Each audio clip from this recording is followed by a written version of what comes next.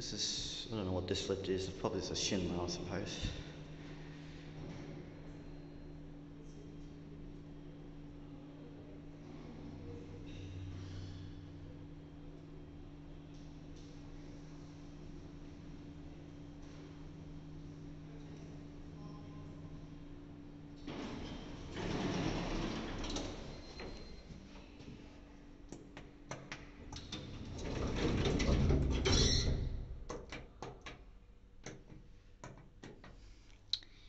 Is a Schindler lift, but the capacity limit per person is 748 kilos. This is a nice Schindler lift. It's locked too, but uh, this is the cab. That's what it looks like so far. Let's get out of here.